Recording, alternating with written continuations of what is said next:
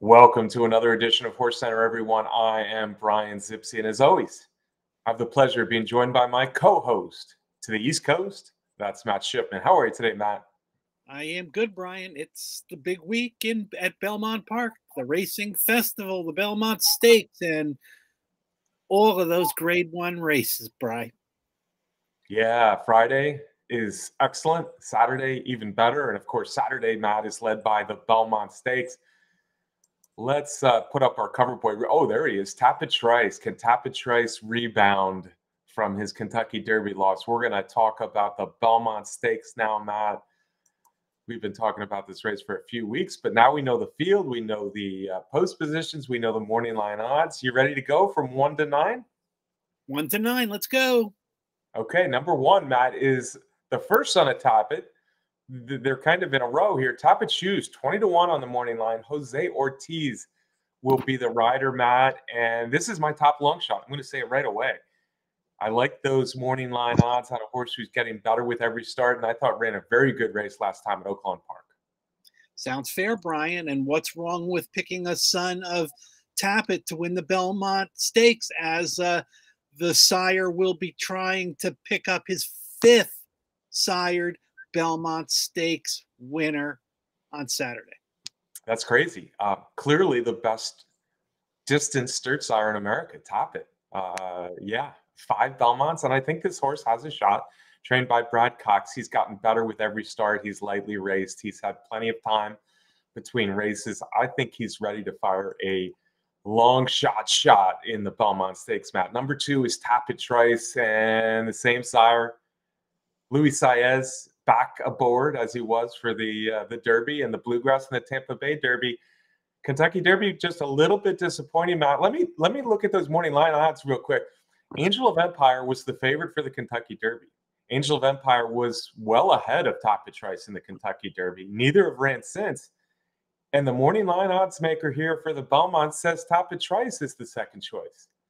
Well, Brian, I think it's a combination of the Tapit factor combined with the Todd Pletcher factor that is uh, going to give Tapit Trice a lot of action. Of course, we talked about Tapit, the sire, and let's just quickly mention Todd Pletcher, who will also be going for his fifth Belmont Stakes win. So maybe a little kismet there.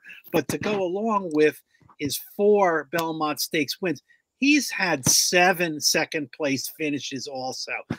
Pletcher knows how to get them ready for the test of the champion. Yeah, Pletcher knows how to get horses ready for the uh, Belmont Stakes for sure. And uh, uh, Tapit's uh, have been running in the Belmont Stakes for sure. Tapit Trice uh, showed he was a good horse, winning that Tampa Bay Derby, winning that Bluegrass. Uh, maybe the Derby wasn't the best trip. Uh, pretty far back, kind of stuck down on the rail, swung way wide. I don't know. It wasn't a great race, but he looks like a Belmont horse. The expansive racetrack at Belmont should suit his big, powerful gray uh, uh, body well, Matt, as he goes here at a mile and a half for the first time. A lot of things point to him. I think there should be enough speed where Tapit Trice can uh, be the one running best at the end. And and despite the low morning line odds, I I tend to think Tapit Trice has a big shot. Number three is Arcangelo and he'll be ridden by Javier Castellano, Matt. Last time Javier Castellano got aboard an up and coming horse uh, in the first leg of the Triple Crown, he won it. Uh, maybe this is another up and coming Florida wintered horse that Castellano could win two thirds of the Triple Crown with.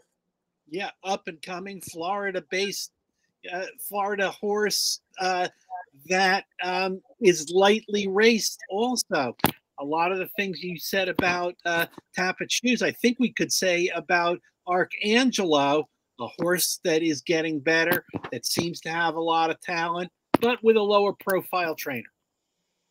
Yeah, yeah, absolutely. Jena uh, Antonucci is uh, bringing the son of Arrogate, who also is bred for a distance. Uh, Arcangelo has a win over the track, um, two promising races to start his career, and then a nice maiden win and then a game win over a talented horse in the Peter Pan over the track. that was one turn, nine furlongs. So he'll have to stretch out, but he certainly looks like a horse uh, headed in the right direction. National Treasure, Matt, there he is, the Preakness winner, number four. National Treasure got a pace that he really enjoyed in the Preakness Stakes. I'm not sure he's going to get that in the Belmont as he stretches out to a mile and a half on a different track. Yeah, whether he gets uh, more pace pressure uh, in the Belmont Stakes than he did in the Preakness, I don't know. We'll see. But we're stretching out to the extra distance with with a field that is much, much, much tougher than that Preakness field and a little historic perspective, Brian, since the year 2000. There have only been three, three horses to win the Belmont Stakes on the front end. And of course, two of them were Triple Crown winners. Yeah, that's right. Uh, uh, American Pharoah and Justify were able to go gate to wire in the Belmont. This is another Bob Baffert trainee, National Treasure. And of course, Johnny V is uh, good on the front end, national treasure. If they leave him alone in the Belmont, he becomes dangerous. But I just have a feeling that it's going to be a little bit tougher early pace than he saw in the Preakness. Let's take a look at the Timeform US pace projector, Matt. Oh, they're saying a fast pace. I, I don't know if I'd predict a fast pace, but they're they're predicting a, a pretty solid pace. I guess that's a fast pace for a mile and a half. Yeah, I think so. Uh, um, and, and fast pace in perspective, like you were mentioning, that National Treasure is likely to get more pressure than he saw in the Preakness. Yeah, and you see some interesting horses there. My top long shot, Tapit Shoes, is close to National Treasure on this pace projector. We also see Forte is pretty darn close. Uh, a, few others not far behind as well, including Il, Il Miracolo, a real long shot, and Hit Show. Uh, we'll see if Forte is that close, but that's interesting. The Timeform US, uh, we we agree, National Treasure will be on the lead, but look at Forte right there, ready to get first jump on the Preakness winner. Very interesting in my eyes, Matt. Let's go back to our order of uh, post positions here. Il, Il Miracolo, 30 to 1. I think he could be higher than that. Matt for trainer Antonio Sano. Five straight stakes tries. He was not a factor in before he dropped down in class last time and won an allowance race at Gulfstream Park. Yeah, and the only thing I want to add is that both of his career victories were front end scores, including that recent allowance. So maybe, maybe if they're thinking the only shot that we have is to go early, he could influence the pace.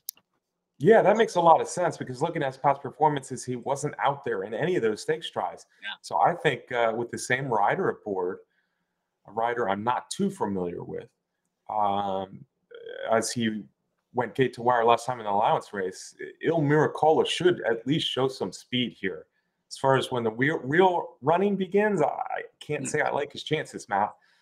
Uh, number six, of course, is Forte, Irad Ortiz Jr., Todd Pletcher. We've already talked about Pletcher, Irad Ortiz. Nobody wins more races on the NYRA circuit than Irad does. Five to two. On the one hand, he's won five straight graded stakes. He's a champion. He hasn't been beaten this year. On the other hand, he missed both the Derby and the Preakness with a little bit of a hoof bruise. Yeah, Brian, and I'll I'll go with your uh, the way you said it. On the one hand, uh, uh, I and I think both of us think that Forte might be the best three-year-old in the country, but on the other hand, you have to be a little bit concerned about the forced layoff that wasn't in the plan. Talk to owner Mike Repole at the draw yesterday, and he said you're going to see something special on Saturday from Forte. Wow, you're going to see something special. So we'll see if we're going to see something special out of the champion. But he is the horse to beat. You, you just look at his past performances, and that's pretty easy to see. Again, five straight great, five straight graded stakes wins coming into the Belmont. Number seven is another horse who could be out there close to the early lead. He showed a little bit of speed in that hot pace of the Kentucky Derby. And he stayed on well, Matt, but he never looked like a winner. Hit show didn't. Uh, unlucky, probably not to uh, back up his Withers win early in the year with a Wood Memorial win, though. Yeah, that's for sure, Brian. And and uh, another one from Brad Cox. I have a feeling that Hit Show might be the Brad Cox horse that gets overlooked in this in this Belmont Stakes field. He finished fifth in the Kentucky Derby, Brian, and and looked good doing it. Yeah, he looked pretty good. Although in the stretch, he was certainly being passed by other horses. Matt, um, there's hard. It's hard to say anything bad about Hit Show's form. It's run a lot of good races, but on the other hand, are any of those races good enough to beat the likes of Forte and Angel of Empire and Tapit Trice? I'm not sure. We'll see. Hit Show is a horse you can't ignore, especially for the exotics. Number seven. Number eight is another Brad Cox, the third Brad Cox we're about to talk about here, Matt. Angel of Empire. What I said about Hit Show was there really hasn't been much wrong with his form. Uh, even more so, you could say the same about uh, uh, Angel of Empire. After running second to a stablemate in the Smarty Jones to begin the year, Matt, convincing wins in both the Risen Star and the Arkansas Derby. Went off as the favorite in the Kentucky Derby after the scratch of Forte and uh, he ran a very good race. He was running strongly in the stretch, third, not beaten all that much in the Kentucky Derby. Yeah, all those things that you said, Brian, and the fact that he's third choice uh, on the morning line says you're probably going to get uh, really good odds. Yeah, uh, I'm a little surprised he's the third choice on the morning line. He still might be the second choice on the morning line. I also threw up this pace projector again because I see blinkers on number eight, and he's a horse who's enjoyed coming from pretty far back in his races. So Cox must be thinking that Angel of Empire is going to be a little bit more forwardly placed this time. You see him there on the pace projector, relatively close in the middle of the pack. Blinkers on a very good horse in Angel of Empire. The last horse on the list, Matt, is the last horse on the pace projector. That's Red Route One. He had to be a little bit closer to that Preakness pace because it was so darn slow. Didn't run badly in the Preakness. Should get a better pace here. And he's a horse who is always finishing. Yeah. Um, but continuing with what you said, um, with a stronger pace, he's likely to get farther behind uh, in the Belmont Stakes than he was in the Preakness. And historically, it's tough for deep closers to win the Belmont. Yeah, that, that is true. Uh, he showed in the Preakness he could be a little bit closer to the pace. It didn't work out great for him. I think he'll likely be last early here. Eight straight graded stakes or eight straight stakes races he's running and he's 0 for 7 in graded stakes with his only win coming narrowly over Tapit Shoes at Arkansas. Matt, I'm going to leave this Belmont Stakes up, but I, I want to talk about some of the other great races we're going to see, Matt, because the Belmont is far from the only thing. We're we're going to talk about the Met Mile soon as our second race of the week, but hey, we've got a bunch of big ones on Friday in Italian and Spendarella. It's only five fillies and mares in the just a game map, but they're all graded stakes winners. And you got in Italian and Spendarella leading the way. Yeah, two horses with uh, two uh, uh, mares with pretty great records on the turf uh, uh, in the in the last six months or so. Uh, in Italian for Chad Brown, very different styles. Goes to the lead, says "Catch me if you can." And they have not been able to catch her very often. Spendarella for Graham Motion comes from off the pace, has done terrific things, including going over to Royal Ascot and running second uh, in a, one of the big, big Group Ones. Yeah, yeah, the two really, really good turf mares, and that just a game, even with the short field, should be fun. Speaking of great turf mares, how about Warlike Goddess, Matt? I, I'm, I'm kind of shocked still that she hasn't won an Eclipse Award either of the last two years. She'll shorten up in the mile and a quarter New York and and face some decent mares, turf mares in there as well. Yeah, shorten up, Brian, but it's still a mile and a quarter uh, on the turf. And what a terrific record this Bill Mott trainee has. Bill Mott, who could have a pretty big day on Saturday if uh, a couple of his heavy favorites find the uh, circle, including Warlike Goddess. 14 starts, 10 wins, a second and a third. Um, she's one tough mare. Yeah, and we're going to keep talking about fillies, Matt, because the Acorn is Friday. Uh, used to be the first leg of the female Triple Tiara. Pretty mischievous, and Munny's Gold uh, lead the way here, Matt, and that's very interesting. Uh, uh mile 16th, one turn, of course, at Belmont. Munny's Gold uh, was very game in her first defeat. I, I think she still could be any kind. Pretty mischievous, just won the Kentucky Oaks. Yeah, uh, um, and, and, did it impressively with at, at, a good price, and now pretty mischievous. Has a pretty terrific record with seven starts and five wins, and a second and a third. Uh, the Kentucky Oaks you mentioned, the Rachel Alexandra um, also uh, this spring. Different kinds of styles. Uh, when you when you get that long mile and a sixteenth you get horses that maybe are a little bit more two-turned oriented against a horse or horse that's maybe a little more sprinting oriented, like Munny's Gold. Yeah, Munny's Gold, I, I, I think is the horse to beat in here against the Kentucky Oaks winner. There is some speed in the race, and that could be your shortcoming, though. You got 13 horses going two miles on the turf. Matt, Matt, who's the best distance? That we said Tapit was the best dirt distance sire in America. Who's the best turf distance sire in America? Any idea? Oh God, uh, there there are many. I don't know. English Channel has a oh, yeah, yeah, yeah. showing in this two mile Belmont Gold Cup. He's my answer. 13 of them in the Belmont Gold Cup on Friday. Saturday, you, are loaded again. Again, we're going to talk about the Met Mile in a minute, but uh, Clairiere, Secret Oath, round four, Matt. The first three rounds have been really good for these top older dirt females. Yeah, what's the what's the breakdown with the four head-to-heads? Well, Clairiere passed Secret. Secret Oath uh, made a big move to get the lead in the Breeders' Cup Distaff as a three-year-old. Clairiere, of course, went by her and just missed in that photo. But they've had two uh, very close races this year in Oaklawn Park. So it's two to one Clairiere, but Secret Oath is due to turn the tables. Yeah, uh, uh that's true. But uh, Clairiere is one tough five-year-old mare coming down the stretch.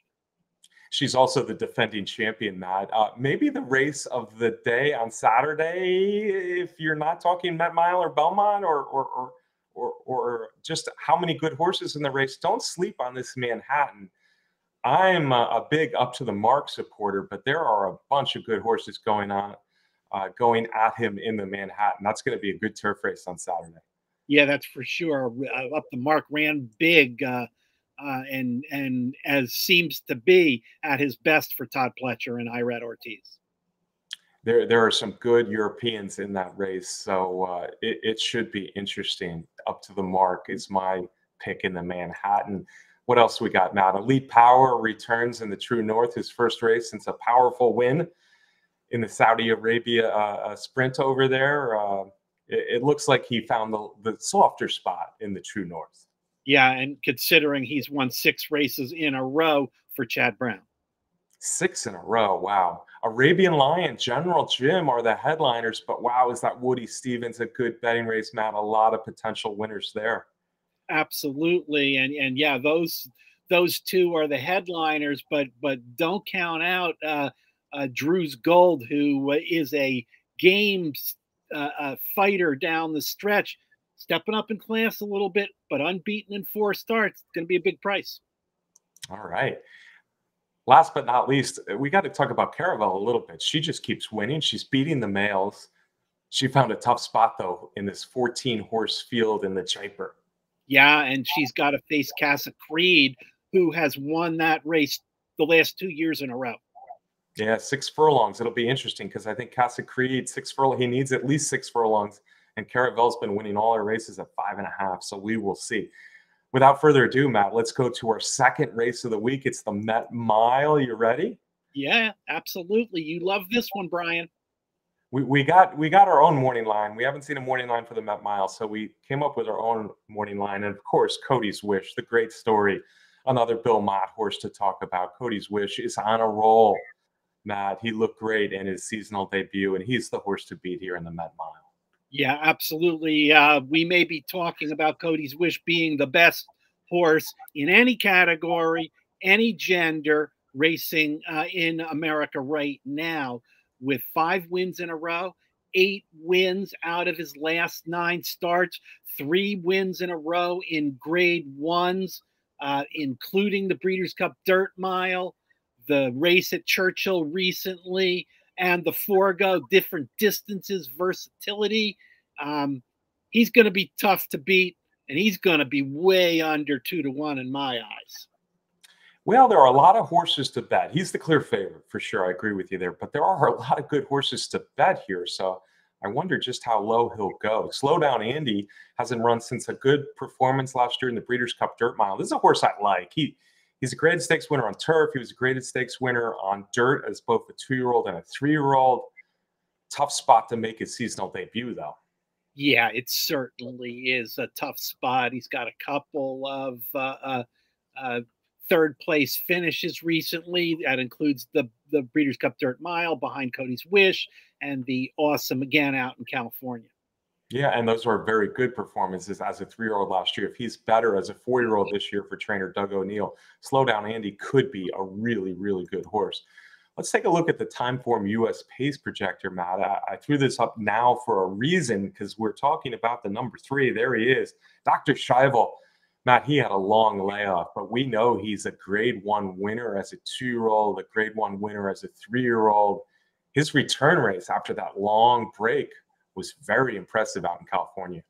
It was impressive. It was fast. It got big, big speed figures, but it was a three horse field. Yeah. And, and, the second horse was CZ Rocket, don't forget that. But you're right. It was a three horse field. Uh, Irad Ortiz Jr is going to be jumping on Dr. Schivel here. And he looks like the pace of the race. However, Timeform US pace projector here is saying fast pace. There's other horses who could be very close or pushing early, including the four, Hoist the Gold, the five, Charge It, the seven, Repo Rocks. So Dr. Schivel might have to work, but he is the speed of this race. Number four is Hoist the Gold. I, th- I, think he's a long shot. He's a nice horse, Matt. Um, he could be one of those horses, like I said, close early. Tough spot though for Hoist the Gold. Yeah, no wins this year, but a couple a couple of nice second places. One of them behind Cody's Wish, and the other one in the uh, Grade Three Commonwealth. Yeah, he ran second to uh, Cody's Wish last time in the Churchill Downs. Number five is a very interesting horse in here, Matt. Charge It, Johnny V Todd Pletcher, last time he ran at Belmont Park, he won by a million lengths, Matt. I think it's official. Uh, uh, it's officially listed as a million lengths. Uh, he's been maybe just a little disappointing this year, but uh, back one turn at Belmont, talented horse. He's tactical. He can be close. He can be in the middle of the pack. I think Charge It's a horse to watch out for here yeah, I guess we could say he's a classic example of an in and outer, and his best in was that monster performance uh, uh, at uh, Belmont Park, going the one turn mile. If he runs like that, he's going to be tough. Yeah, if he runs like that, look out. And and and the one turn mile at Belmont Park is a unique thing. So charge it, a horse to watch out for. Zandon what about Zandon? One of the best three year olds in the country last year, Matt. It's been a while since he's found the winner circle. Uh, he was well beaten last time by Repo Rocks, but it was a prep. If there is good speed, like the Timeform US Pace Projector says there will be, Zandon might be one who can pick up some pieces here in the Met Mile. Yeah, absolutely. He's got some terrific, uh, terrific finishes uh, in his past performances, including a third in the Kentucky Derby. Uh, most recently was I, a little bit disappointing when he finished second uh, uh, in the Westchester. Um, and you got to go back a little ways to the bluegrass of 2022 to find his last victory. Yeah, it's been over a year, but uh, like we said, there were some good performances in there after that. And second start of the year, Chad Brown, speed in the race. Zandon's one you should at least think about in the exotics in the Met Mile. How good has Repo Rocks for trainer Jamie Ness gotten, Matt? I, I, I, list him as the second choice here on our Horse Center odds. I don't know if he'll be the second uh, choice, but on recent form, he darn well should be the second choice. Yeah, recent form, five wins out of his last six starts, Brian, at three different tracks at Belmont, most of them at Aqueduct and at Parx. Got a couple of grade three victories in those five wins. Yeah, Repo Rocks coming off a big win, one mile over the track where he trounced Zandon last time in the Westchester. A return of that performance makes him a threat in here. But the horse who beat him two starts back is also in the race, Doppelganger. Doppelganger was a big long shot in the Carter mat, but he came flying late down the middle of the track to get the win. He's actually won three in a row for trainer Brittany Russell. Yep, shipping up from Maryland. Uh, we'll have we'll see if he can uh, uh, duplicate that Carter handicap uh, victory. That was a grade one, but this is a much tougher field than that, Brian. It is a much tougher field, and White Abarrio hasn't beaten much tougher fields of late. Although, if you go back to early last year, he's a Grade One winner down at Gulfstream Park. He's run a lot of good races. He's coming off a win. Maybe most importantly, he's he's running for a new barn. Yeah, Brian. Uh, uh, people were talking about that uh, uh comeback victory in an allowance race at Gulfstream Park uh, before the trainer change, but now he's in the barn of recently reinstated trainer Rick Dutrow, who has a way of getting horses to improve. Yeah, White Abarrio and improving White Abarrio could be a scary proposition in this Met Mile. But like you said, it's a tough spot. All right, Matt, you ready? Top picks for those two big races, the Belmont and the Met Mile? Whoa, we're ready for top picks already? Top picks. Okay. Are you ready? Yeah. Yeah, let's do it. Okay. I'm going to let you go first, and I'm going to have you start with the Belmont.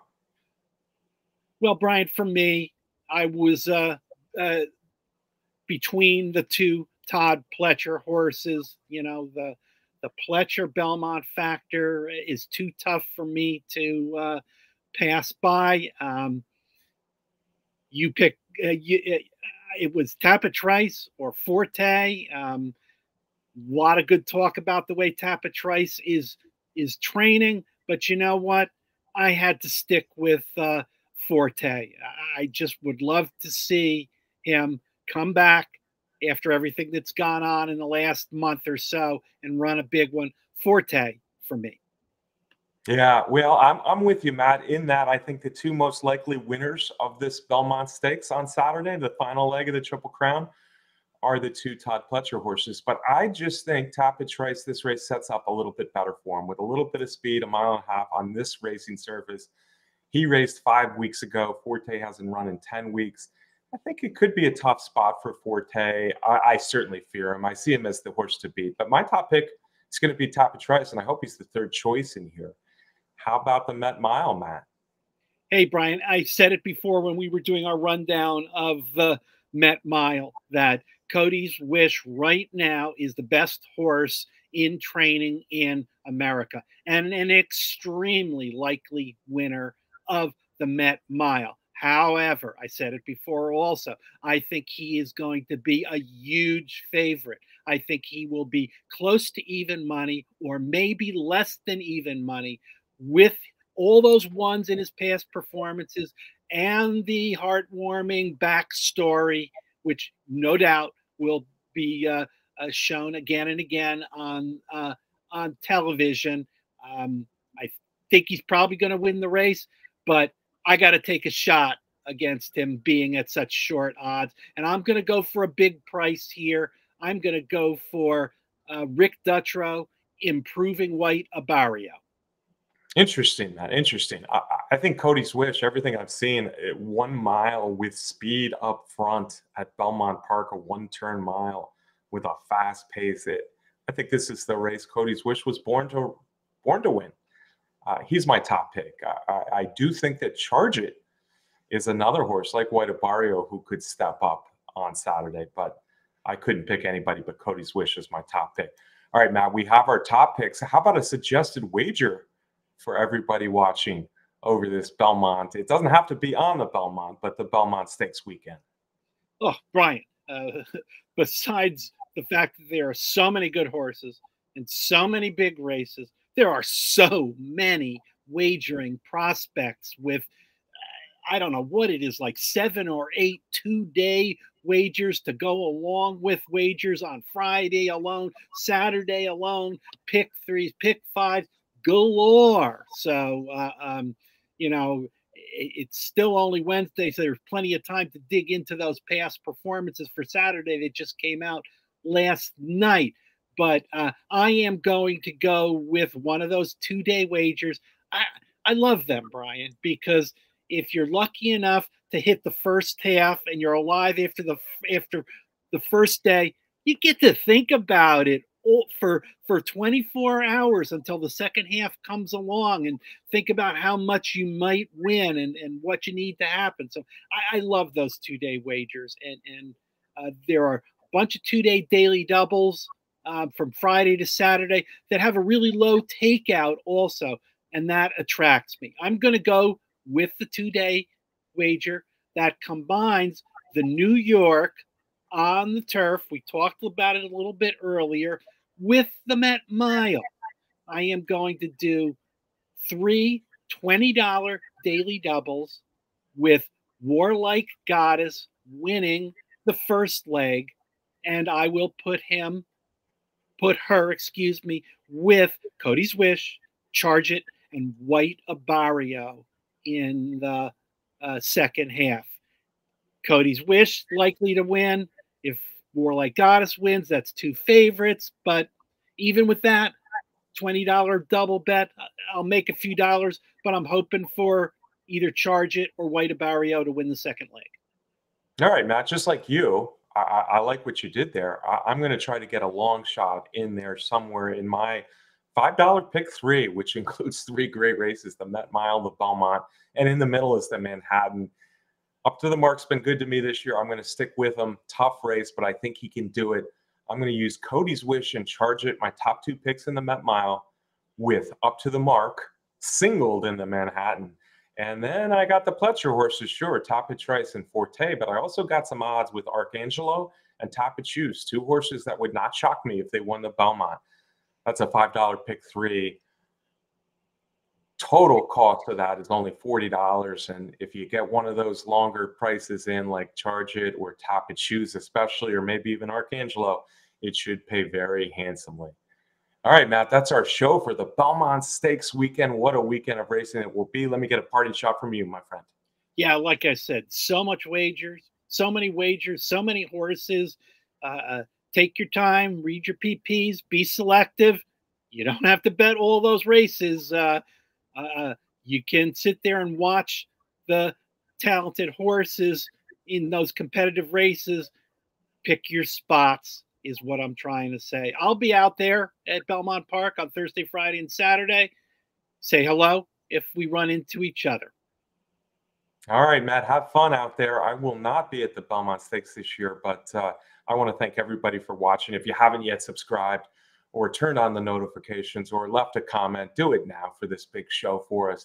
We also want to thank who else, Matt? Candace Curtis for the race graphics from our home office, Derby Wars, the best contest site out there, our sponsor, and Timeform US for those great race graphics. Folks, enjoy a big weekend of racing at Belmont Park. We'll be back right here next week talking about the results on HorseCenter. See you then.